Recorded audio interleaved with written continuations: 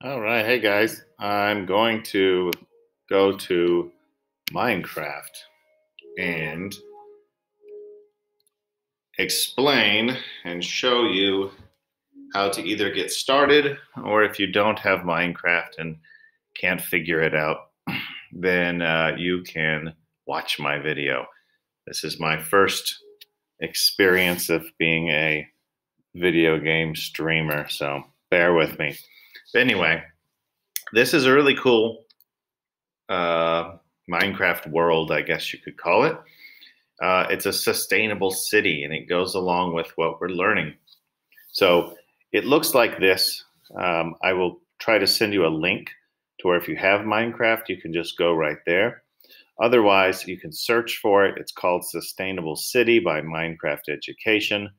Uh, it looks like this. And we're going to click on it and I'm going to just create a world with it.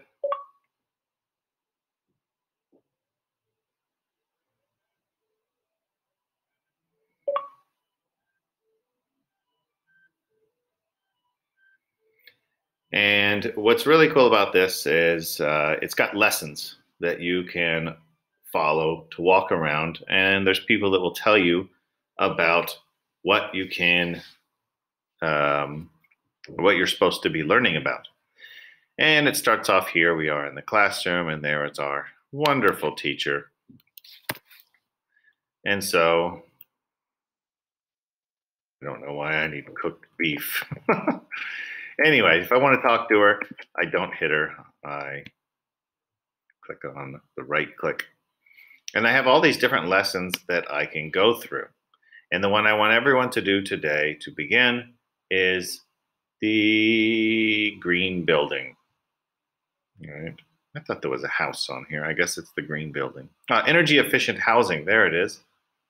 Lesson five, housing. All right. And now it says, take the bus to the house. Now I see these little sparklies. I need to follow the sparklies. I don't know why it's it keeps doing this. There we go. Where are the sparklies? There's the sparklies. Oh, it wants me to take the crosswalk. I'll be safe and do that. So here's the bus. But before I get on the bus, take a look. We've got a big sustainable city.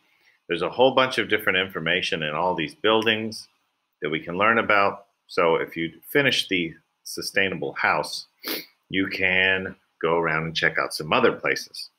So let's talk to the driver.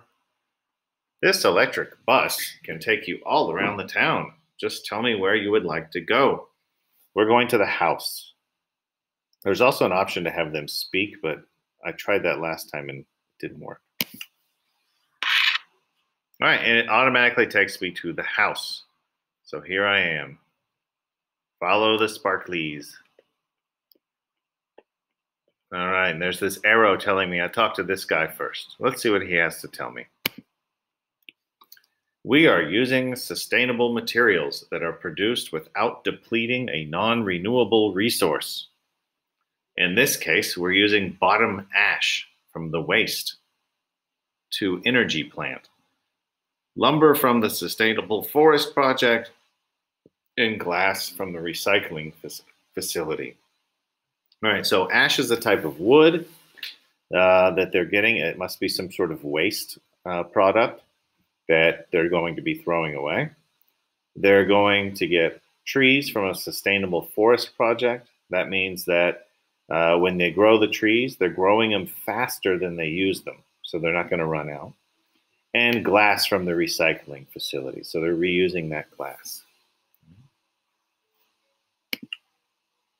And let's find my sparklies to see where do I go next. Here we go.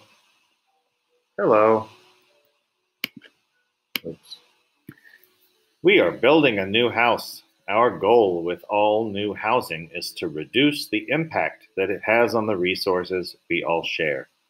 If we can conserve energy usage with this, with this house, we can take one more step toward a sustainable future. All right, let's follow the sparklies. And looks like I go inside. Ooh, this is like an outside area. I can see I've got some little blue things here. It's must be modeling or demonstrating that something's happening here. All right, let's talk to this guy. He has something to tell me. Let's see if I can get him to talk. Oh, wait, five seconds. Five, four. What? Ah. Do you see that pink stuff in between the walls of this house? It's called insulation, and it will slow heat transfer significantly. We have lined the walls and ceiling of this house to slow the heat loss during the cold months and slow heat gain during the warm months. All right, nice reader. I can probably read myself and it's a little easier. But this pink stuff is insulation. Now, I talked about that. Insulation means it's blocking heat from going through.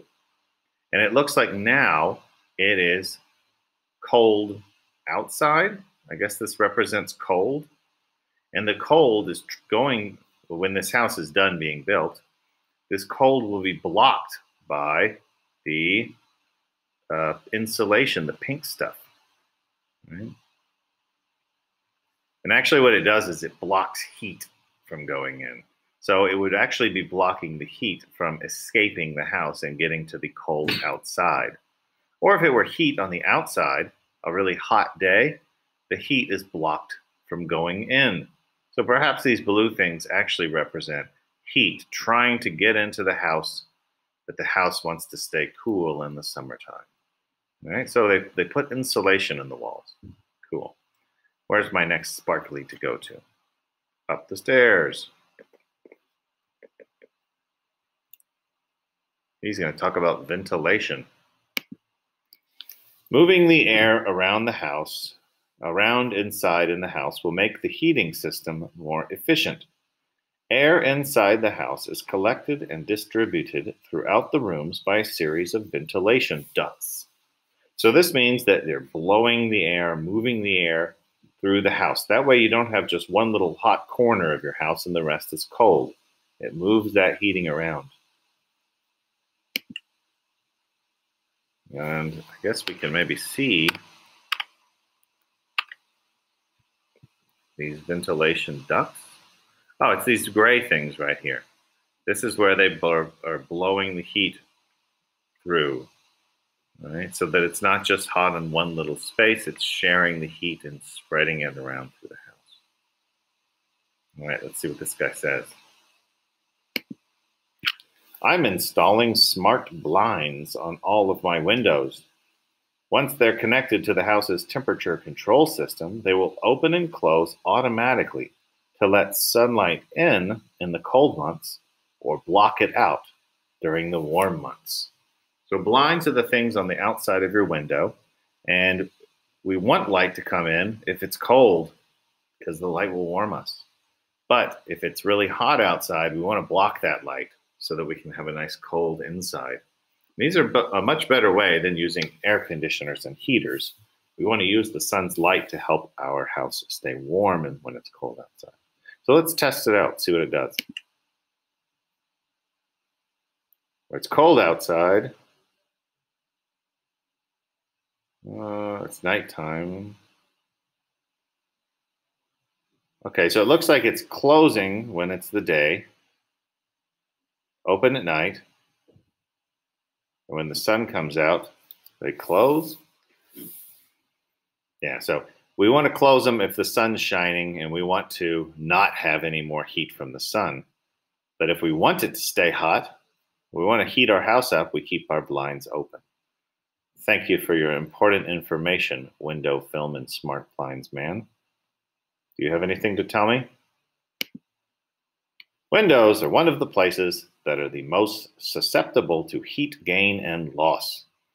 A high performance window film can make the glass resist heat. All right, so this means you're going to put some stuff on the outside of the window to make the window a better insulator. Now what happened here? Oh, they put some stuff on the window. Okay, so they put this like special plasticky uh, sticker on the window and it helps block the heat.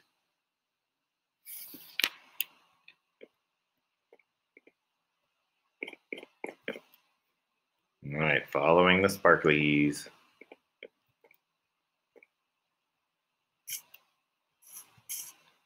Enter scaffolding and hold jump to go up. Uh, what's the jump button? Space is jump.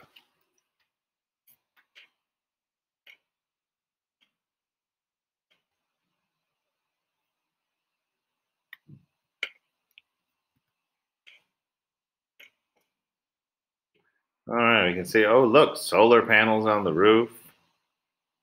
And then there's the insulation, keeping that house warm in the winter and cool in the summer.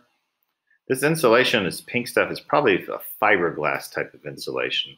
There's a lot of different things we can use to be insulators. Uh, here's a guy to talk to. Passive energy collection. I'm installing solar panels on this roof.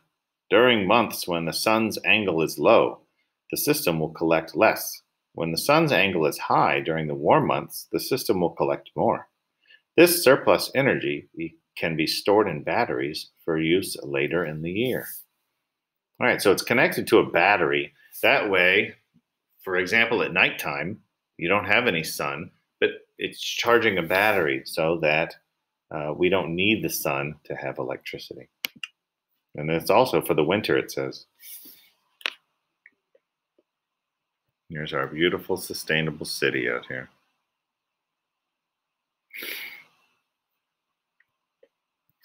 All right, where are my sparklies?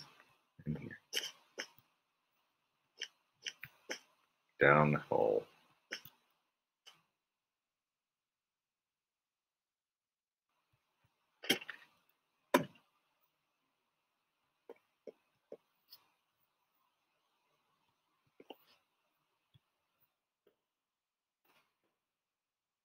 Enter scaffolding and hold crouch to go down. I just jumped. Yay. Furnace. So that means it's a heater. This machine next to me is the furnace or a heater. It heats the house. As you may have seen, many other features of this house reduce the need for the furnace to run. If this was done for every dwelling, which means house, we could reduce their energy use considerably. So if we have all these things, we don't have to burn stuff to heat the house or use electricity to heat the house. should we turn on the furnace? And there, the heater's on, heating up the house.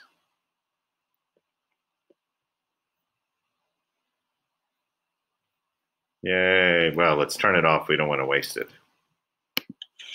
There we go. Now we're not burning stuff. So a lot of times these furnaces burn natural gas. They burn um, coal sometimes. Um, I would say natural gas is probably the likely thing to burn. Uh, or electricity. They use electricity. It gets hot just like your oven, and it takes that oven heat and spreads it through the house. So we can see this one. This gets hot, and the hot air goes through this tube and then it spreads it out through this thing, this thing. So it's got a fan that kind of pumps the air, the hot air around.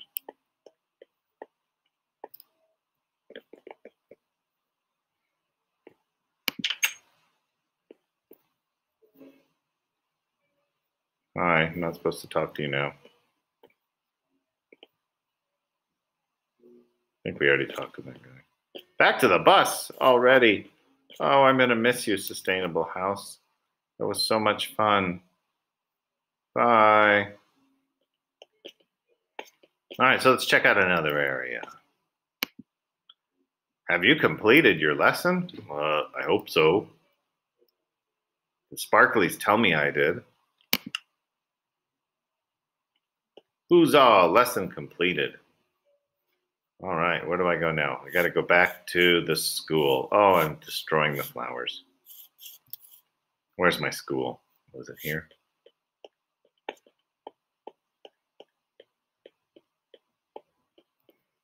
It looks like some sort of store.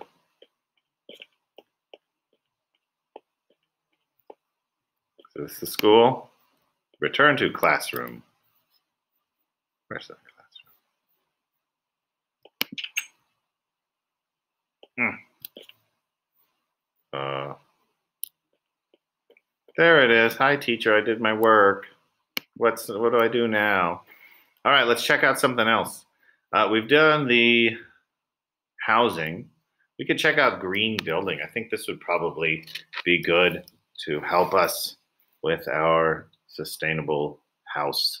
So we're going to go to three, green building. And the sparklies now will tell us where to go.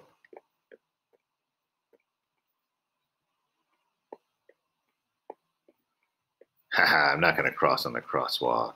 There's no cars here to kill me. Oh, I don't even have to take the bus. I just walk straight there. There's the green building there in the middle of building it. Look both ways.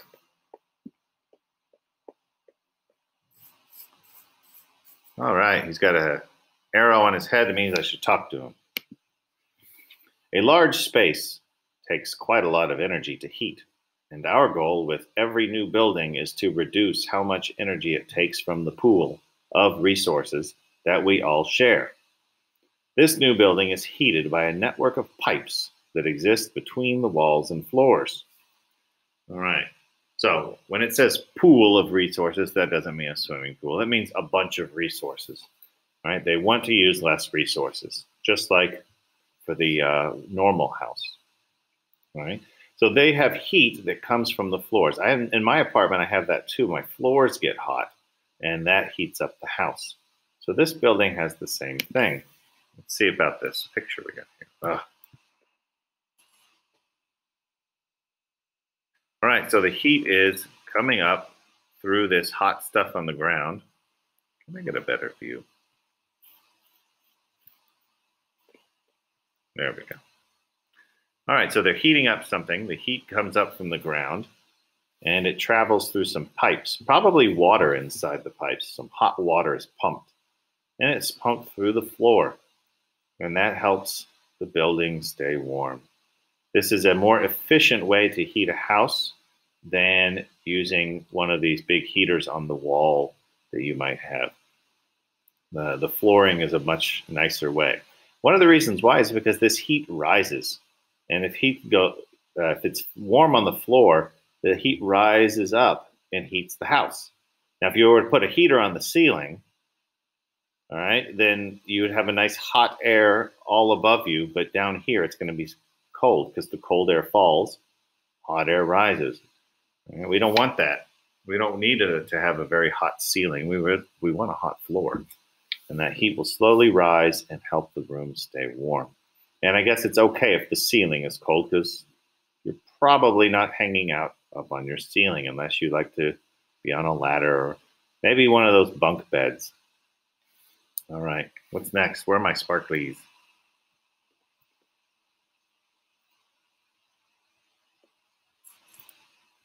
I don't see sparklies.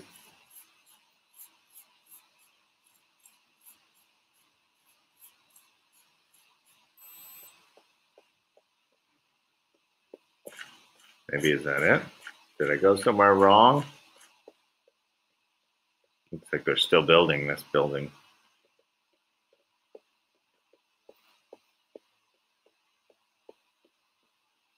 Uh, where are the sparklies? Oops.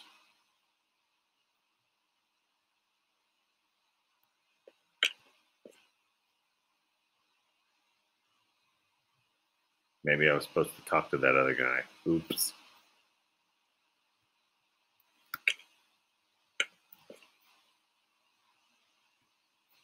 No! There we go.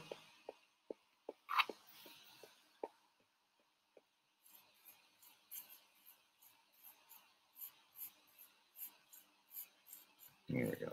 Talk to this guy. Yeah, this says geothermal. In the winter, the ground temperature is warmer than the air up here. In the summer, the ground temperature is cooler than the air up here. Inside the pipes, a fast moving liquid made from water and glycol that made from water and glycol carries the desired temperatures up into the building. Ah, cool. This is like uh, the underground cooling and heating system. All right, so it uses the earth to warm and cool the place. It doesn't have anything hot or cold. It's not using any energy at all. Oh, and look, he's transported us down here. Geothermal. Where are we? What happened? Did they finish the building?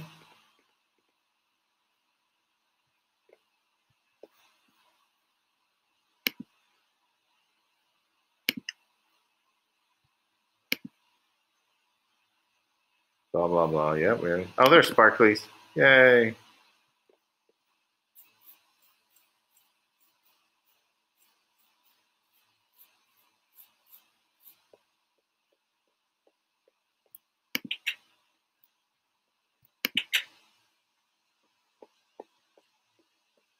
Building's looking nice.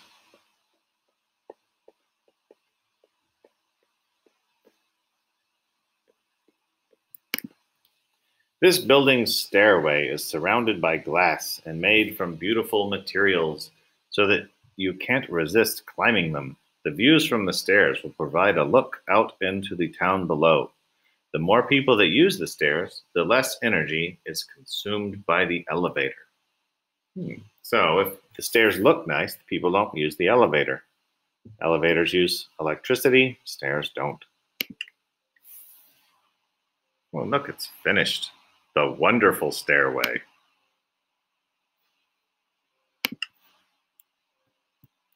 Oops.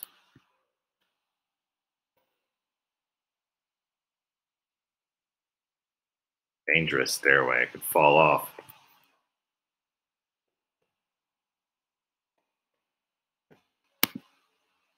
All the water from the sinks goes into the building's gray water system. Ah, like in the Japanese toilet. It travels down into a tank in the basement where all the gray water is collected. Then it's pumped up to the roof to be drip fed into a clevering filter device. Hop in to find out more. All right, so they're collecting all their sink water. Sink water, just like the Japanese toilet. Is this an elevator or something? What am I doing here? Oh, I'm in the water. The gray water. This is all the water from the sinks in this building. Doesn't look too dirty. Maybe a little soapy. Yay, gray water.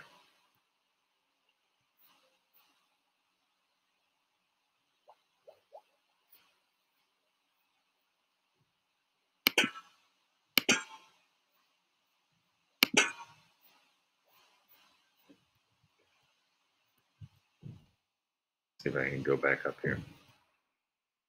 Ah! Let me out.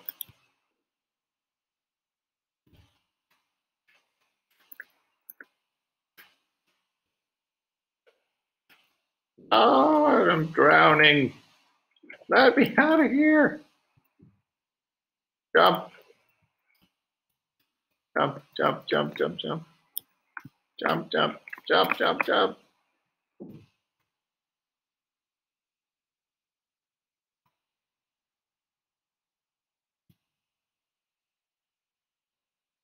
Why can't I fly? Is there a fly option here? Swim up.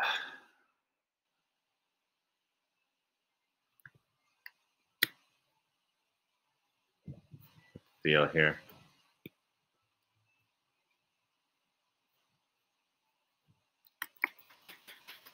Move. No, I'm going to die in here. I'm tired of swimming in gray water.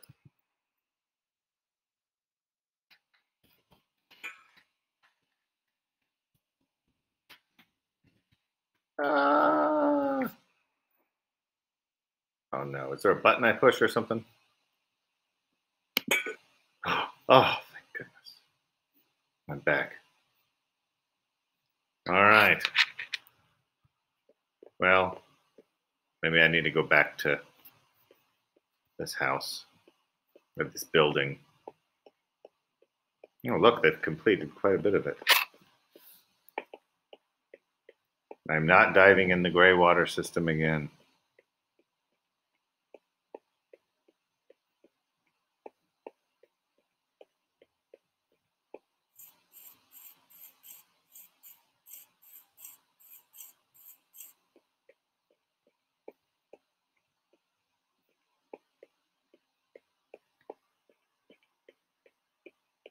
No, no battery. I already saw the wonderful stairway.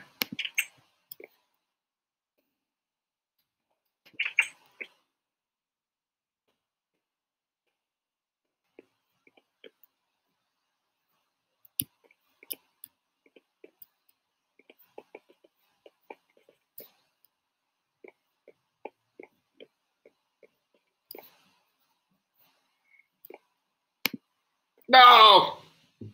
Oh well. Hopefully that was the end of this area. I need to find my charger. And I think it's probably a good uh, time to finish this video. And hopefully you have learned something from doing this. And if uh, you don't have Minecraft, uh, maybe it looks a little interesting to you. Uh, I have Minecraft Education Edition. It's free, but it's really complicated. You have to uh, sign up for like a free trial and whatnot. All right. Um, I also have the regular Minecraft on my Nintendo. Anyway, that's it for today. I hope you learned a little bit about sustainable houses. Goodbye.